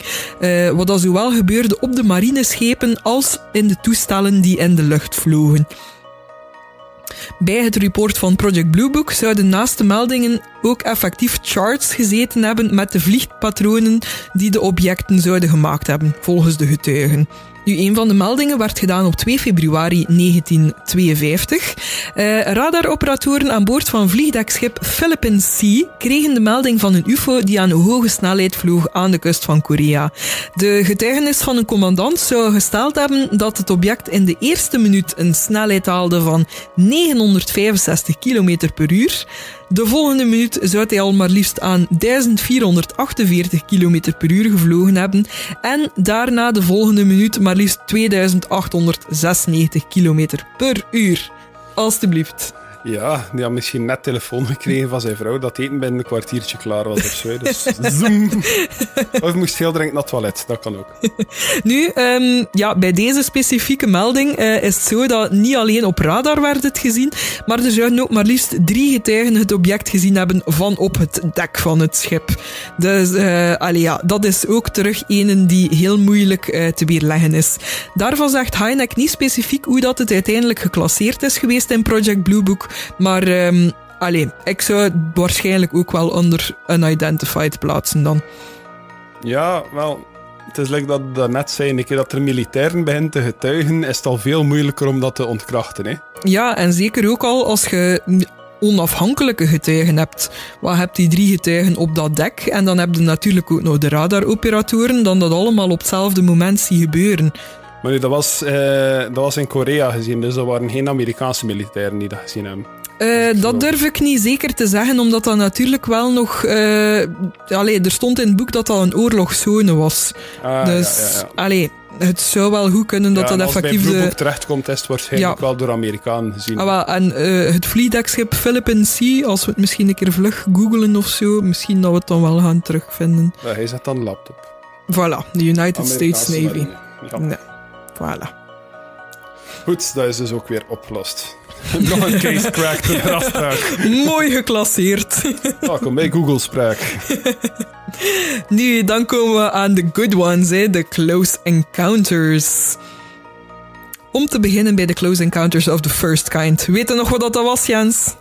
Eh, ja, dat is dat je dus eigenlijk gewoon het schip van dichtbij genoeg kan zien dat het duidelijk kan zien. Dat Mooi. je, oh, Ja. zonder twijfel zeker weet dat het eh, dat de vliegende schotel of whatever is. Dat Allee. het schip is. ja, ik zie, ook al is het al een beetje later op de avond aan het worden, dat je toch nog een beetje aan het opletten bent. Ja, Flink toen was ik nog aan het luisteren. Nu, je ziet dat ik hier al een kleine afbeelding heb klaarstaan voor jou. Eh, want dat is namelijk een getuigenis eh, van een persoon die een object gezien heeft op 19 mei 1960 in Dillingham, Alaska. Oké. Nu, het object dat je ziet op de tekening ehm, zou dus een object zijn van 6 tot 7,5 meter in diameter. Metaalachtig van kleur, een beetje vergelijkbaar met aluminium. En eh, zoals dat je ziet, het zou zo twee soorten pootjes gehad hebben, bijna een soort van landingsgestel, eh, waarvan dat de getuigen het omschreef als twee soorten tubes of flappen. Eh, met dan in het midden nog een halfcirkelvormig eh, ja, klein toestelletje dat dan ook nog een keer eh, zelf uit zichzelf ronddraaide. Maar het, het doet me eigenlijk zo denken aan... Ken je zo de moderne kindersurprise eitjes? Met zo... Die, ja, die verpakking met zo dat lijntje in het midden. Ah ja, Doe mij daaraan denken. En dan met, met twee beentjes en een klein piemeltje ertussen. Nu, verder eh, zou er geen raam of iets dergelijks te zien zijn. En het geluid zou beschreven worden als zoemend of zuigend. Ja. Nu, de lokale onderzoeker zou hier wel verder aan toegevoegd hebben ook eh, dat de getuigen beweerden dat het object van zeer dichtbij te zien was. En dat de enige logische verklaring leek te ontbreken en hulp hierbij zeker nodig bleek te zijn. Ehm, en ja, hier kwam er dus wel degelijk ook verder onderzoek. Ehm, en hieronder zit er ook een deeltje van eh, het report aan Project Blue Book door de persoon die de getuige heeft geïnterviewd. En daar mag jij een keer het stukje van voorlezen. Jim Sensert, doofstom zijnde, communiceerde zijn getuigenis door aan zijn broer Ed. Ed Sensert. Die in zijn naam sprak. Jim was in de tuin toen hij het object zag vliegen. Hij zag dat het object er vreemd genoeg in slaagde om zuigkracht te genereren. Want in zijn vlucht nam het twee lege jerrycans mee die onder het toestel begonnen rond te draaien. Hij had schrik dat enkele kinderen die verderop aan het spelen waren ook opgezogen zouden geraken. Het toestel passeerde hem op zo'n 15 tot 30 meter. Het zou verder vliegen tot aan een nabijgelegen ravijn, waar het even leek te zakken om dan terug aan hoge snelheid op te trekken. Het was zeker en vast geen ballon, het was metaalachtig. Nu, verderop in het report zou ook te lezen zijn dat op het moment van de melding eh, de lucht helder was. Ehm, ja, het voor de rest ook heel mooi weer was. Er stond wel een wind van zo'n 24 km per uur. Ehm, maar het object zou daar tegenin gevlogen hebben. Ehm, nu, ik moet wel zeggen, ik vind het dan een beetje raar dat de getuige doofstom was, maar dat er dan toch in Project Blue Book nog staat dat het een zoemend en zuigend geluid had. Dus ik weet niet of dat Ed, de broer, er op dat moment zelf ook bij was, want anders lijkt het mij een beetje raar dat dat deel is van de melding. Maar, allee, tot daaraan toe. Ehm, Project Blue Book zou dus eh, besluiten in hun file. Er lijkt geen logische verklaring te zijn voor de melding. Het is duidelijk dat er iets werd waargenomen. Of alle details van de waarneming correct zijn, kan niet bevestigd worden. Hoe dan ook is er geen reden om de juistheid in twijfel te trekken. Het lijkt er niet op dat een alledaags object verantwoordelijk is voor de melding. Dus, allee, hier is dan nu natuurlijk wel een case waar dat ze het zelf duidelijk heel moeilijk mee hebben. Hè. Ze hebben geen enkele manier om het te debunken en eh, zo wordt het natuurlijk ook heel moeilijk. Maar ze zullen nooit ja, proberen om iets in de mond te nemen van iets dat het bovennatuurlijk zou kunnen zijn. Hè. Ehm, Er staat een statement in het report dat op het moment van de melding ook een weerballon met een reflector in die buurt passeerde. Maar um, ja, het vreemde is dat ook helemaal zelfs niet duidelijk is waar dat die info vandaan komt. Dus uh, ergens lijkt het er een beetje op alsof dat ze zich er op die manier wel heel makkelijk wouden van afmaken van zo ergens in de buurt was er waarschijnlijk een weerballon, maar we weten niet goed van welke bron dat komt, maar het is goed genoeg om uh, dat als uh, ja, oorzaak te bekijken. Ja, dat is ook de klassieker. Hè? Maar vorige week werd dat ook al een keer aangehaald. Een weerballon dat gaat op zich niet echt van zijn eigen van links naar rechts gaan. Dat gaat omhoog. Dat kan een duwtje krijgen van de wind, maar voor de rest, het is een ballon dat stijgt. Ah, maar ja, en laat staan dat dat dan ook een keer twee jerrycans ook met zich meesleurt. Die weerballon uitleggen wordt vaak gegeven en je kan dat, je kan dat zeggen als iets hoog aan de lucht ziet blinken, dat daar gewoon even blijft hangen of zo. Maar als het iets is dat in rare patronen vliegt, ja, nee, dan werkt die verklaring niet meer. Nee, inderdaad. Dus, allee, het is... Nee, nee, nee. nee, verdorie. Maar het is gewoon enorm frustrerend. Hè? Als je dat ziet, allee, er moet er toch iemand rondgelopen hebben op heel dat Project Bluebook. Denk dat ze iets had van, hé hey, gasten, wat denkt je? Zou er toch niet iets meer zijn? Allee. Allee, kom. Want hier kan onderzoeken. Nee, nee. Dan komen we aan de Close Encounters of the Second Kind. En dat was Jens. Uh, dat was dat je... Um, ah, dat er um, effectief sporen van nagebleven waren in de omgeving. Bijvoorbeeld verbrande takjes of boompjes. Of, ja, ja, wel, om volledig te zijn in de omgeving of op mensen of dieren. Ja. Dat, dat er, er iets van sporen waren. Ja. En uh, volgens Heineck zouden er zo'n, ja, uh, tussen de 587 cases die uiteindelijk als unidentified gelabeld waren, zouden zo'n 33 daarvan dus uh, close encounters of the second kind geweest zijn. Um, hoewel uh, zegt hij wel dat sommige ook onder de identified cases zitten. maar die werden dan door Project Blue Book afgedaan als psychologisch of onbetrouwbaar. Ja. Um, en van dat psychologische heb ik hier um, zo een case. Namelijk op 24 februari 1959 in Victorville, California. Uh, de hoofdgetuige was een jongeman die volgens de onderzoeker over uh, terug ja, een goede algemene intelligentie beschikte. Uh, dat is toch al iets, hè? He's got that going for him. Nu, naast hem zou er dan uiteindelijk ook nog een tweede getuige geweest zijn, zijnde zijn jongere broer. Op een avond, uh, de jongens zijn alleen thuis, de ouders zijn, ik weet niet wat, naar een feestje of het een of het ander. En uh, vanuit zijn kamer ziet hij een fel licht binnenschijnen. Um, nu, als grote broer zijnde neemt hij de verantwoordelijkheid op zich om het licht te gaan onderzoeken. Uh, omdat het toch wel heel fel leek te zijn. Allee, het leek niet op de lichten van een auto of van hun ouders dat terug thuis kwamen met de auto of zo. En de hond was ondertussen ook enorm aan het janken om het huis binnen te geraken. Nu, eenmaal buiten zag hij een uitgestrekt ovalen object. Het was uh, lichtrood van kleur en het was gelijk zo paarse golven aan het uitzenden. Dus in de zo van de sigaar, Een beetje aan het gonzen, zo. Uh, ja, exact. En de hulder jerrycans? Nee! Het toestel begon zijn richting uit te vliegen. En uh, eenmaal dat het uh, ja, ter hoogte van zijn voortuin was, zou het op maar liefst drie meter uh, voorbij vliegen. Dus op drie meter hoogte van hem.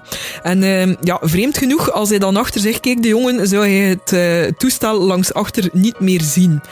Nu, hij gaat terug naar binnen om zijn jongere broer en de hond een beetje te kalmeren. Maar na enkele minuten zou hij terug naar buiten gaan uh, en zou hij terugzien dat het toestel terug aan het dalen is en weer zijn richting aan het uitkomen is.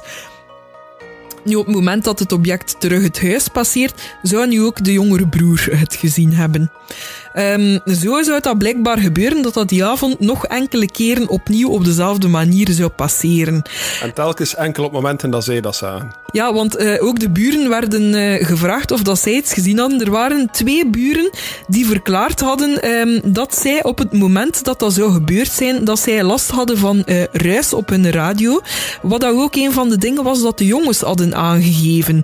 Um, dus dat hun radio eerst nog heel helder klonk, maar op het moment dat dus, het object object voorbij vloog, was er dus een enorme ruis.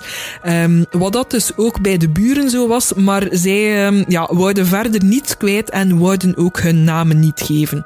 Dus ik denk weer een beetje terug om geen gezichtsverlies te lijden. Ja. Dus zoals ik al gezegd had, eh, die jongen eh, had een goede intelligentie. En de onderzoeker eh, zou zelf ook aangeven dat de jongen ook in zijn verhaal zeer consistent was. Ehm, dat hij wel probeerde om hem een paar keer eh, ja, een beetje op het verkeerde spoor te krijgen of hem verkeerde dingen te laten zeggen. Maar dat hij op geen enkel moment door de mand viel. Dus dat allemaal heel erg leek dat hij heel erg bij zijn verhaal bleef. Maar toch zou Project Blue Book dit dus afdoen als psychologisch. Ja, ja. Ergens begrijp ik het ook wel. Twee jonge gasten alleen thuis. Zij zijn de enigen die het gezien hebben. En, en toen ik 18 jaar was, kon ik eigenlijk ook liegen met een straight face. Zonder, eh, zonder te verpinken. En ging ik ook een verhaal kunnen volhouden hoor. Intussen denk ik niet dat ik dat nog zo goed zou kunnen. Maar Nee, nee. nee, nee. nee. Maar toen ik 18 jaar was, kon ik heel goed liegen. Nu, nog zo een eh, psychologische debunking gebeurde op 23 november 1957. En eh, ja, terug was het weer een getuige dat ze niet zomaar konden negeren, eh, want de hoofdgetuige was eerste luitenant Source van de luchtmacht. Nu, Hij meneertjes... was de bron. Het zal wel zijn. Source keerde terug naar zijn thuisbasis ehm, nadat hij een tamelijk uitgebreide survival training had gedaan, blijkbaar. Ehm, iets na zes uur 's ochtends krijgt hij onderweg plots autopech. Oh nee. Ja, oh, en dat, dat dat weet is- al dat een ja. is. Van 6 uur s morgens al op baan moeten zijn en dan een keer auto pakken. Nee, sorry, maar dat kun je beter Hij was al, ja, en hij was al lang op de baan ondertussen. Ah, maar ja, dan kun je beter gewoon gaan slapen. er gaat goed meer gebeuren die dag. En ja, dat is ook wel iets dat Heineck aangeeft, eh, dat toch ook wel tamelijk veel terugkeert in die meldingen, is zo die een autopech. Eh allee ja, had het nog maar gezegd bij uw case ook van Betty en Barney. Hè. En ehm, bij de Flatwoods Monster hebben we ook gezien dat er ook een van de getuigen was eh, die ook autopech had gekregen. Dus allee, daar is er toch ook wel iets raar mee aan de hand. Hè. Nu, in het geval van eh, luitenant Source, ehm, bij het buitenstappen om de auto te onderzoeken, wordt zijn aandacht plots getrokken door vier schotelvormige objecten. Ehm, die zouden zo'n 300 meter verder van hem ehm, ja, geparkeerd staan. En na enkele minuten wandelen eh, was hij dan nog op, ongeveer op zo'n 15 meter van de objecten. Dus hier heb je dan ook nog een keer een tekening ervan. van, ja, hoe dat ze er volgens zijn eh, getuigenis uitzagen. Hè. Dus eigenlijk weer een beetje typisch. Ja, oké, dat is eh, ja, de meest klassieke UFO dat u kan voorstellen eigenlijk. Hè. Ja, hè. en ze waren ook alle vier eh, behoorlijk identiek. Dus allee, wat dat er hier wel verschillend aan is, het is ook weer zo, ja, gelijk de typische twee schotels op elkaar. Maar hier zou er ook bovenaan in het midden een transparante koepel gezeten hebben. Oké, interessant. Nu, elk hadden ze ook drie landingsonderdelen en was er ook een ring rondom eh, die ook op zichzelf leek door te draaien. Nu, helaas eh, zou Source niet dichter geraken dan die 15 meter, Ehm, want ja, de toestellen zouden dan plots ehm, van een heel licht hummend geluid plots naar een oorverdovend geluid gaan en eh, zouden ze beginnen opstegen. Eh, Source zou wel zo goed zijn om de landingsplaats zelf verder nog te onderzoeken.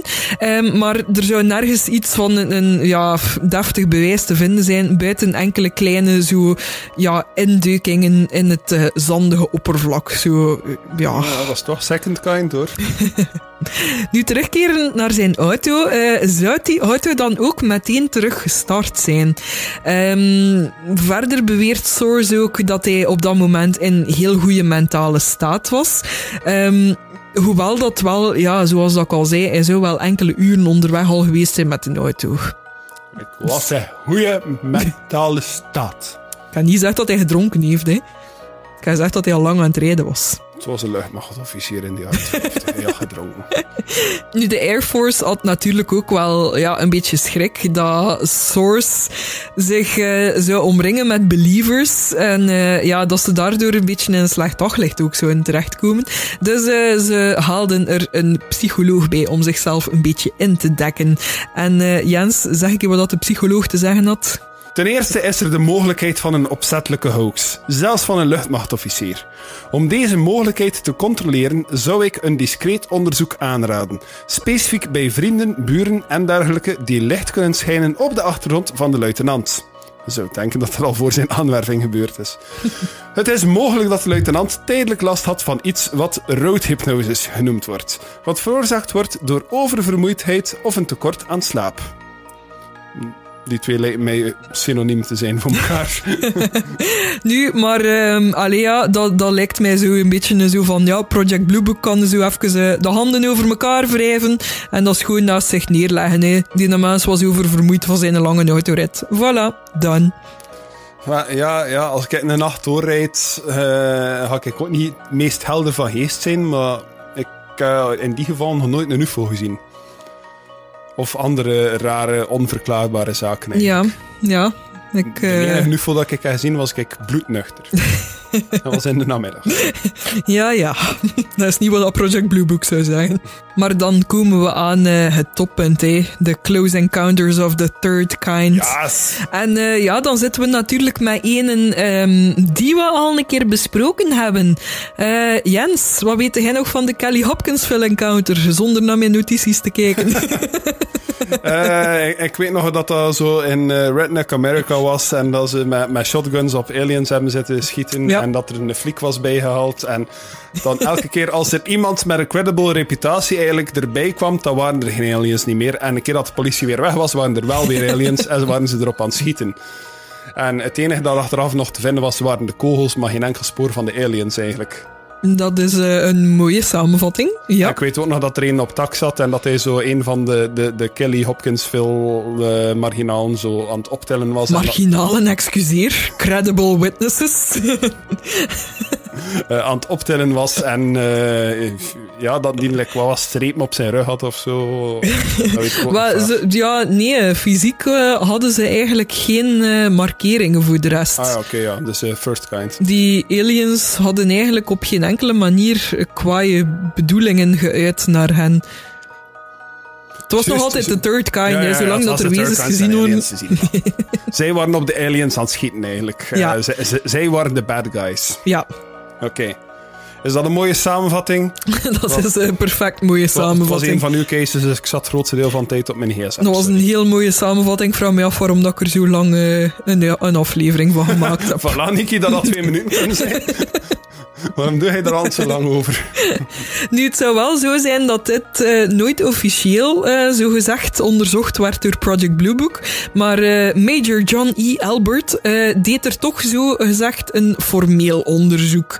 Um, volgens dat hij zelf zou zeggen, zou hij na het nieuws gehoord te hebben op de radio zelf in de buurt geweest zijn van waar dat de melding kwam. Um, en zou hij daarop contact opgenomen hebben met de basis. Um, dus Project Blue Book zelf zou tegen hem gezegd hebben van wij zijn niet op de hoogte dat er zoiets is gebeurd, maar kijk, aangezien dat je toch in de buurt zit, moet jij gerust een keer op onderzoek gaan. Um, maar eigenlijk alles dat er bij hen in de files te vinden is, um, ja, zou uiteindelijk ook op veel onwaarheden stuiten en heel veel vooroordelen ook.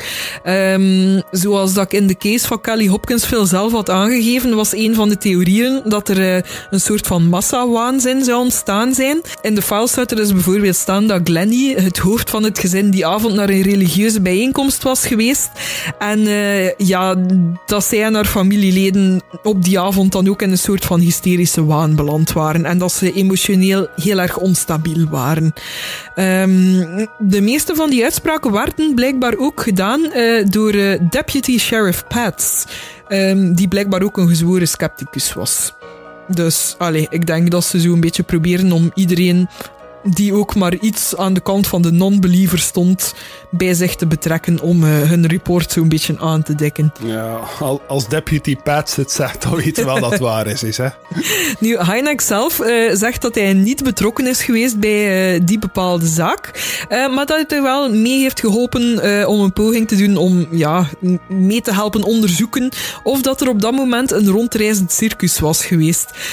want als je het je nog goed herinnert, was ook een van de theorieën dat er losgeslagen apen zouden geweest zijn. Ja, maar dat was niet het geval, zeker. Nee, inderdaad, hij heeft nergens een bewijs kunnen vinden ehm, dat er ooit een rondreizend circus op dat moment zou geweest zijn. Ja.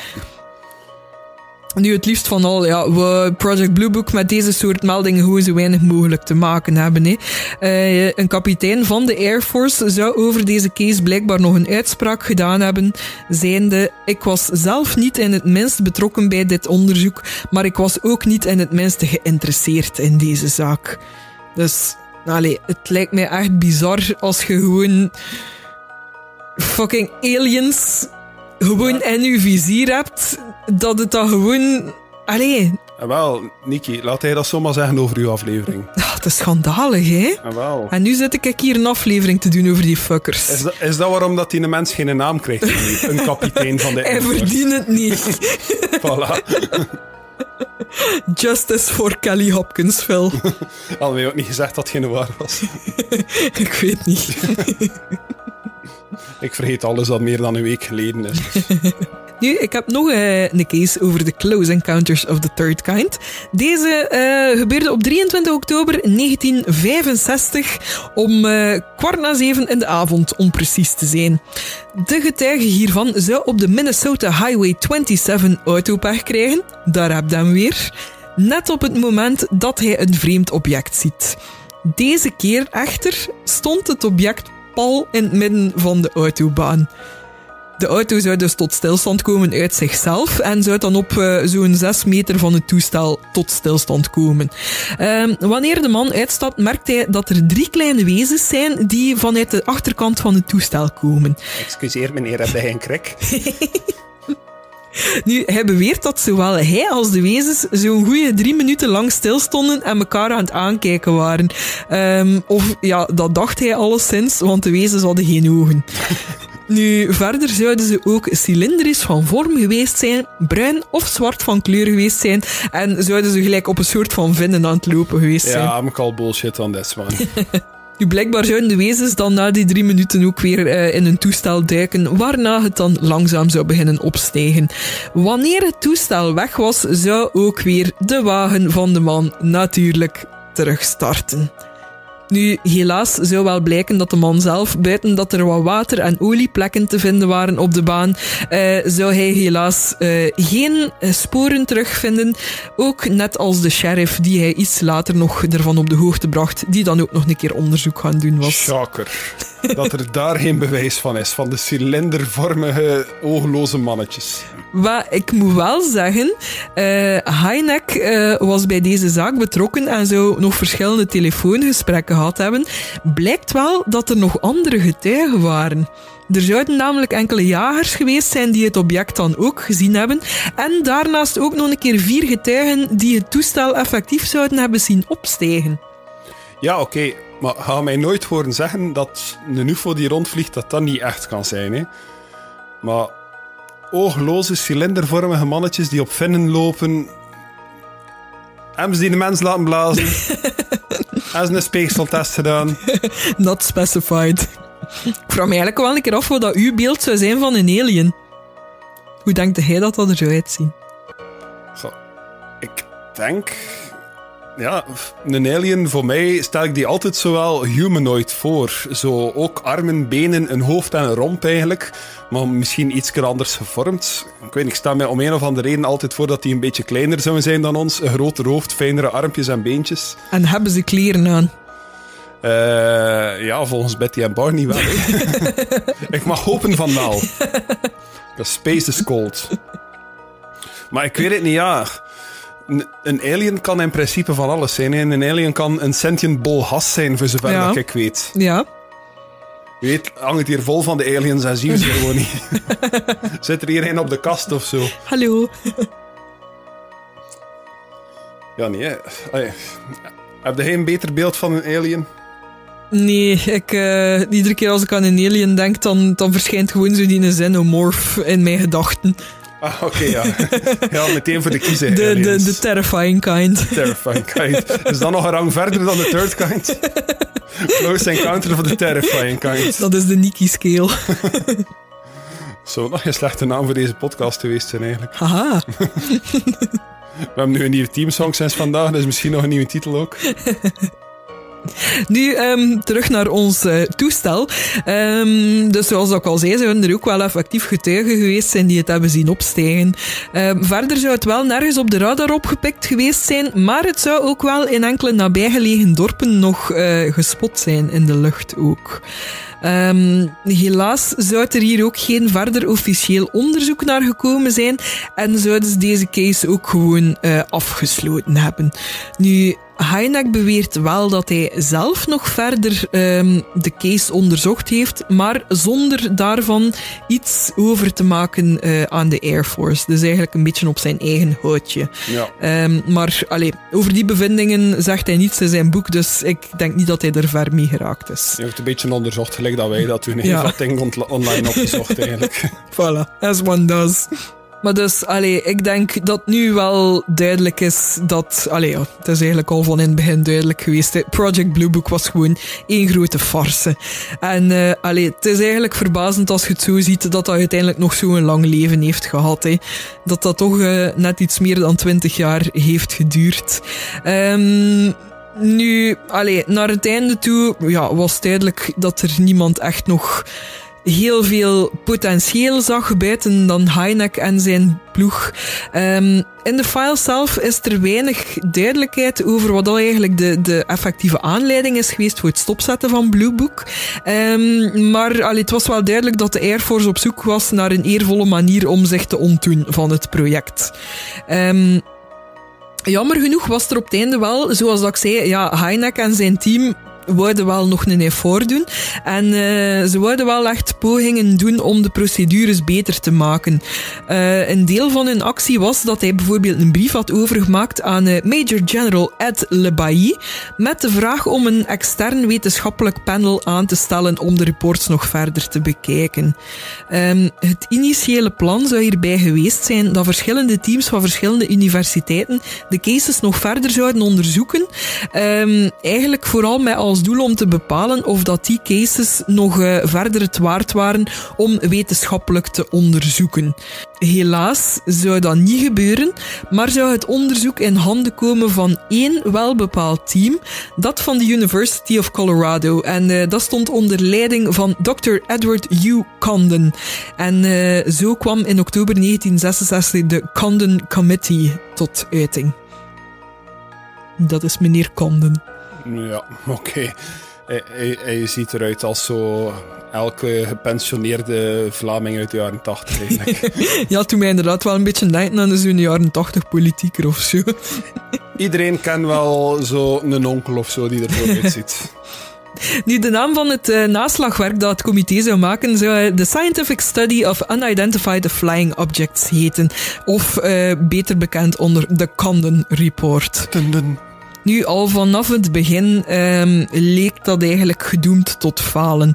Um, eigenlijk was er uh, een heel grote clash tussen de leden van het comité, zijnde in overtuiging. En uh, was er heel weinig co coherentie in de samenwerking en was er een heel grote onderlinge strijd. Um, het rapport dat het comité uiteindelijk opstelde kwam in het voorjaar van 1969 tot uiting. En uh, ja, zou dus de uiteindelijke aanleiding geven tot het stopzetten van Project Blue Book. Want um, als besluit zou dat rapport concluderen dat de Air Force er alle baat bij zou hebben om zich te ontdoen van Project Blue Book. Um, wat dat Heineck wel zegt, is um, dat er, ja, zoals ik zei, heel weinig coherentie is. Um, en dat het eigenlijk wel baat zou hebben om verder te kijken dan het besluit van Condon. Um, want het document op zich, ook al ja, is Condon er niet zo voor te vinden, lijkt het wel dat het onderzoek dat daarin gebeurd werd, toch wel, ja, het bestaan van de UFO's toch wel het voordeel van de twijfel lijkt te hebben. want Jens, lees een keer een van de die in het rapport staat. Het Condon Report op zich is moeilijk te lezen, deels door de organisatie ervan. Om het te begrijpen moet men het gros van het rapport bekijken. Het volstaat niet om besluiten en samenvattingen te lezen. Er zijn verschillen in de opvattingen en conclusies van de verschillende auteurs van de verschillende hoofdstukken, die op hun beurt ook nog eens verschillen van het besluit van Condon. Condens hoofdstuk bevat veel van zijn persoonlijke overtuigingen, waaronder het feit dat niets van wetenschappelijke waarde zal voortkomen uit verdere onderzoeken. Dus ja, het is jammer om te lezen dat allee, Project Blue Book op zich was al zo'n grote clusterfuck van teleurstellingen, dat het Condon Report dat dan ook nog een keer blijkt te zijn. Hè. Um, en dat er dus wel degelijk toch wel dingen in zaten die toch wel waard zijn om verder te onderzoeken. Want uh, Heineck geeft enkele van die bevindingen weer, um, wat dat volgens hem toch wel heel erg onmogelijk lijkt dat Condon deze zomaar zou genegeerd hebben of gewoon naast zich zou neergelegd hebben. Eén daarvan is bijvoorbeeld deze melding, die gebeurde in McMinnville, Oregon op 11 mei 1950. Dus hier is er al fotografisch bewijs nog een keer. Ja. Dit is een van de weinige UFO-meldingen waarbij alle onderzochte factoren, tussen haakjes geometrisch, psychologisch en fysiek, consistent blijken te zijn met de beweringen van de getuigen. Het kan niet volledig uitgesloten worden dat dit gefabriceerd was, maar toch zijn er verschillende factoren, zoals de nauwkeurigheid van de optische metingen op de originele negatieven, die dit tegengaan. Waarmee dat hij volgens mij dus gewoon wil zeggen van we hebben de originele negatieven en dat kan niet getruckeerd geweest zijn. Ja. Dat, is niet daarop bijgewerkt al sinds. Ja, inderdaad. Dus, um, dus oftewel is, het, is de foto zelf in scène gezet, oftewel is het echt. Ja, inderdaad. En allee, dat zijn dus uh, de twee visies waar, waarbij dat er ja, een serieuze strijd gevoerd wordt binnen het comité. Hè. Uh, want enerzijds wou uh, een deel van de groep zoveel mogelijk onderzoeken en de origine van de objecten te weten komen. en zelfs daarbij mogelijk ook de weg van, van het buitenaardse volgen. Maar de andere groep zou dan eigenlijk die buitenaardse theorie volledig nonsens vinden en ja, ehm, als oplossing zien dat die meldingen ook weer gewoon psychologisch van aard waren. Volgens Heineck is dat dus een zeer spijtige zaak, want hij heeft het gevoel dat de kans gemist werd om ja, de meldingen te onderzoeken voor te kijken of dat het misschien een tot nu toe nog niet ontdekt fenomeen zou kunnen zijn. Hè. Um, in Heineck's woorden zegt hij eigenlijk dat ze de eerste regel van de wetenschap gebroken hebben, zijnde het feit dat eerst de feiten op een rijtje moeten gezet worden vooraleer dat er tot een theorie kan overgegaan worden. Dus dat ze eigenlijk gewoon hun eigen visie wouden blijven volgen en alles daar een beetje aan aanpasten wat ze tegenkwamen of negeerden. Nu, uiteindelijk zou het comité er zelfs niet in slagen om al de cases die ze voorgelegd hadden gekregen te onderzoeken. Um, zo een derde ongeveer ervan zou gewoon ja, op de stapel blijven liggen zijn. Um, maar dat zijn werk wel gedaan, want op 17 december 1969 zou Project Blue Book dus officieel stopgezet worden. Um, de uitleg was daarbij dat het dus op aanraden van Dr. Condon was dat er geen reden was om Project Blue Book verder te zetten, aangezien het bestaan ervan niet langer gerechtvaardigd kan worden op grond van staatsveiligheid of wetenschappelijke interesse. Maar dat was dus enkel maar het besluit van Condon. Helaas waren er wel nog binnen zijn groep die wel de waarde ervan zagen om verder te onderzoeken. Maar ja, jammer genoeg was het besluit genomen. Um, en dat was ook hetgene dat naar buiten werd gebracht aan het grote publiek. Dat het dus eigenlijk allemaal niet de moeite waard was om verder te onderzoeken. En dat de wetenschap gesproken heeft. UFO's bestaan niet en al de meldingen die nog binnenkwamen, kwamen ofwel van een bestaand object, of was iets dat verkeerd was ingeschat, of kwamen van mensen die mentaal onstabiel waren. En daarmee ja, is Project Blue Book dus uiteindelijk een stille dood gestorven. Maar desondanks ja, heeft het dus nog altijd wel een beetje ja, zijn waarde in de moderne tijd, zou ik maar zeggen. Er is nu ook een serie dat Project Blue Book heet. Ja, heb ik ontdekt. wel de moeite is. Ja, dus uh, dat is misschien wel een keer de moeite waard om te checken. Ik heb er ook nog niet naar gekeken, maar ja, ik heb zelfs die Alien documentaire op Netflix nog niet uitgekeken eigenlijk. Maar, ik ben, uh, ben, nog te veel bezig met mijn volgende case. Om, ja. Uh, ja No distractions. Ah, wel. Maar laat mij zeggen, ik ben blij dat ik het uh, een keer heb kunnen onderzoeken wat dat Project Blue Book juist was. Maar um, het is jammer dat het zo'n grote teleurstelling was. Ik zal het zo zeggen. Ja, wel. Ik zal zeggen, voor deze trilogie uh, had ik eigenlijk al vrij vroeg bepaald dat, dat ik Betty en Barney Hill wou doen. En dat mijn voorstel naar jou toe was van ofwel Roswell ofwel Project Blue Book. Of een combinatie van de twee, afhankelijk van hoe omslachtig dat was. Nu, Blue Book bleek een beetje groter te zijn dan dat we zelf gedacht hadden op voorhand. Uh, dus Roswell hem eventjes achterwege gelaten.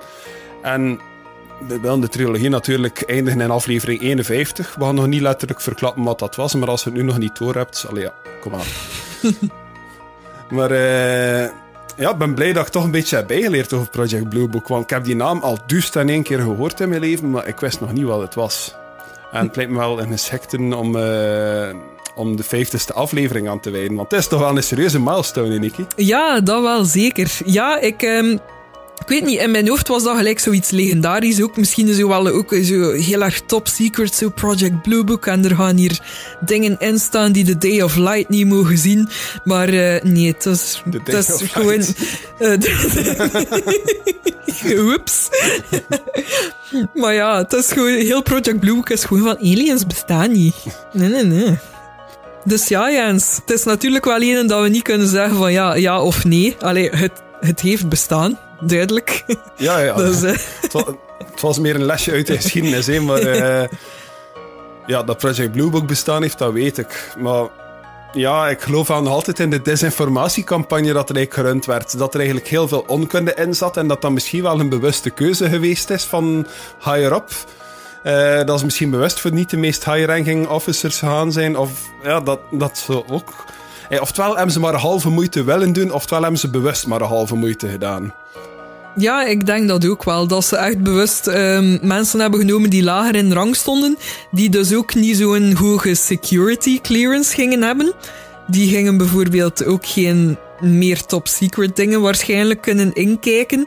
Dus allee, ik, ik ben er wel van overtuigd dat er hogerop nog meer dingen aan de gang waren.